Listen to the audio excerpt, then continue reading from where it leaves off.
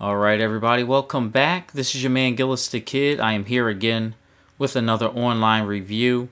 This time we're going to be taking a look at the GoPro Hero 8 Black. GoPro just announced a new camera, two new cameras actually, but the Hero 8 Black is the successor to the Hero 7 Black. And we're going to take a look and see if this camera is right for you. If you have a Hero 7 Black, maybe you might want to upgrade and uh, get a better camera. We're going to take a look at some of the features. This camera will start off at a uh, $399.99 and let's just take a look at some of the new features and find out if it's worth it. GoPro always has good deals on their website when it comes to upgrading to a new camera. Um, so they say it has Hypersmooth 2.0 stabilization and it also has a built-in mount which I find is pretty cool. You can see it right there on the bottom. And you can mod it out so you can add lights microphones and more. Uh, so there's the media mod. You get a premium shotgun mic. There's a 3.5 millimeter mic and a HDMI port. And you get two cold shoe mounts all in one. So that's pretty cool. There's also a display mod. So you get a flip up camera screen for framing your shots and you can vlog, you can see everything exactly as if you were using like an ordinary camera. Then there's a light mod.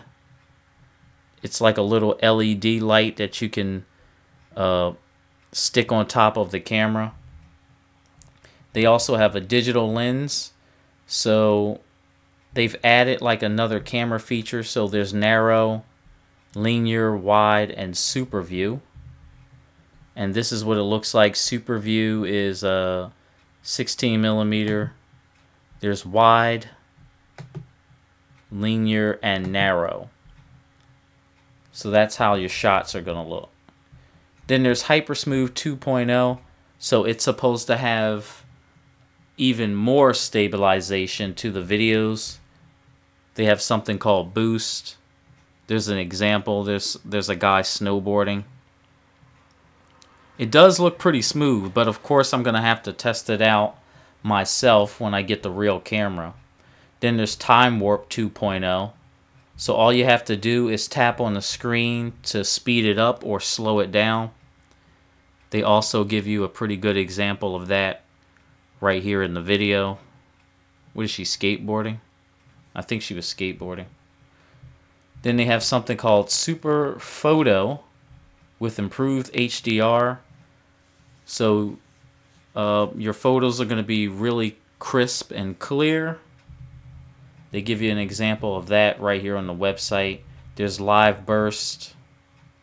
So you can share a 3 second 4K video clip and you can edit it right in GoPro's app or whatever software you use. There's Night lapse video.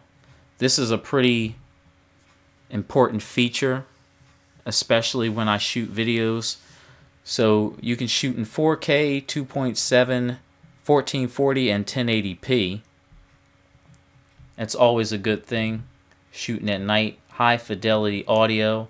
So again, just like the Hero 7 Black, this camera has three microphones, so it's going to reduce wind noise. Now, most of the time when I shot videos, it was outside. It did a pretty good job reducing wind noise, but you still might want to get like a wind filter if you can. It's rugged and waterproof, so it can be submerged uh, 33 feet, 10 meters in water. There's the GoPro app where you can edit your photos and videos. GoPro has like its own unlimited cloud uh, subscription. And then it has voice commands so you can say stuff like GoPro start recording or GoPro turn on. Just like you do with the iPhones when you say hey Siri. And here it is, the Hero 8 Black. It's going to run you about 400 bucks And if you order it off of GoPro's website, they give you a free 32 gig SD card included. They've always did that, um, which is a pretty good deal. I'm waiting for Black Friday. Sometimes GoPro will give you $50 off or $100 off if you trade in your old camera. Um, let me see. So you can pre-order it. I believe this comes out in November. Correct me if I'm wrong, but uh, let's compare it with the 7.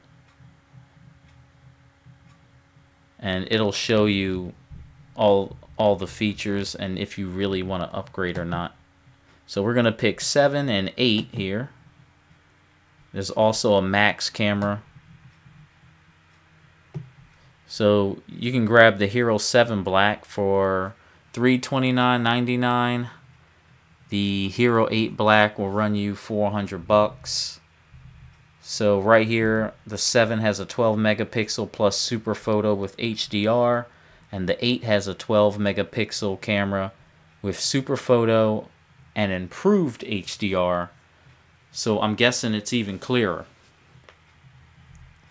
Okay, there's live burst, so that's the only camera that's going to give you that. Uh, power pano which is like a panorama view. Only the Max camera has that. There's Super Photo. So again, uh, it just says improved HDR. And they both cameras shoot in 4K resolution at 60 frames per second.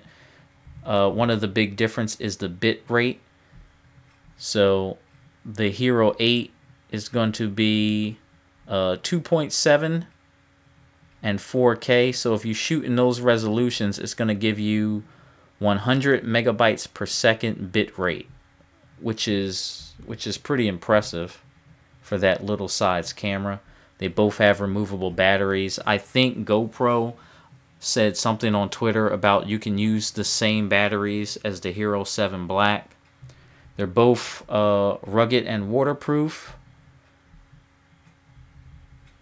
Frameless mounting with folding fingers. So just like they showed you in the picture, the Hero 8 Black, it has built-in uh, mounting, which is excellent. And then they have the uh, Hero 8 Black mods that I just showed you. They both have touchscreen. And as far as video stabilization, uh, the 8 is going to give you Hypersmooth 2.0 uh, they got the GoPro app, Time Warp 2.0. So everything is just a little bit better. But like I said, you, you know, you're going to have to test this out yourself or watch a video of someone testing all this stuff out. And the 7 has super view, wide, and linear. The 8 has super view, wide, linear, and narrow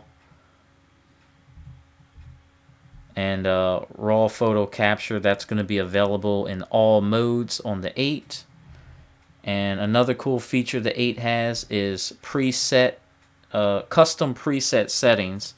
So uh, let's just say if you wanted to shoot in 4k resolution you can set that. And whenever you turn the camera on it's going to automatically uh, shoot what you set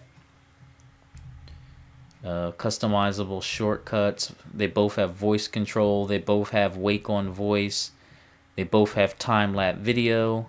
Uh, the 8 is going to give you that night lapse video mode, which looks pretty cool. They both have slow mo. Now, live streaming, uh, you can live stream in 1080p on the 8. It was only 720 with the 7. So they've upped the resolution uh, when you live stream. I think you can only do it on Facebook. Correct me if I'm wrong. There's GPS, uh, metadata. They both have that GP1 chip. And uh, GoPro. I think when you buy the camera, they give you that GoPro Plus subscription. There's like a 30 day trial or something like that. And both cameras have three microphones, stereo auto, audio. I'm sorry. And then there's uh, one of the cool things I like right here. So the media mod for the 8, um, it's going to give you that 3.5 millimeter mic adapter. So you don't have to go on Amazon and buy third party stuff. It is sold separately though. Just keep that in mind. They both have Wi-Fi and Bluetooth. They both connect to the GoPro app. Auto upload to cloud, which is the GoPro Plus subscription. They both have GPS and a HDMI video out cable. Um, so let's take a look at the accessories because they're raving about all the mods that you can hook up to this camera. So that's the that's the rechargeable battery. That's what they look like. There's a battery charger, a dual battery charger and a battery. There's the protective housing. And then right here you have the media mod. Oh my god, it's 80 bucks. the media mod is $80.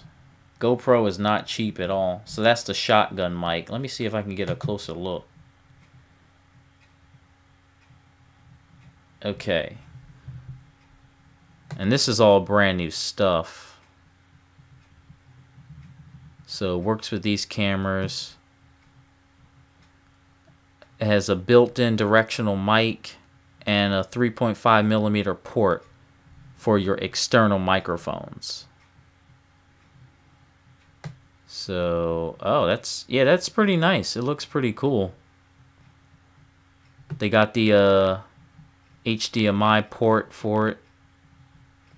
So yeah, that looks that looks pretty cool. There's a picture of a guy holding it right there on the basketball court. Um, yeah, let's go back and look at the other one. So this is the display mod. Uh, let's see what this does. It's a flip-up screen that lets you see yourself in action. Compact and perfect for vloggers. So it looks like it fits right on the top. There's a picture of a guy holding it. So it looks like he's shooting a video of himself and he can see at the top what it looks like. So that's that's pretty cool. And now he's on the motorcycle. He's shooting himself and he can see like what it looks like. Okay, I get it. So we, we get what that is. That's also uh, 79.99. And then they have this light mod here. Let me check that out. So it's an LED light. Uh, yeah, I mean it's basically a light that you attached to the top of the GoPro. Now it's starting to look like an actual camera. That looks pretty cool. I like that. It's 50 bucks though. Yeah, that's a lot of money.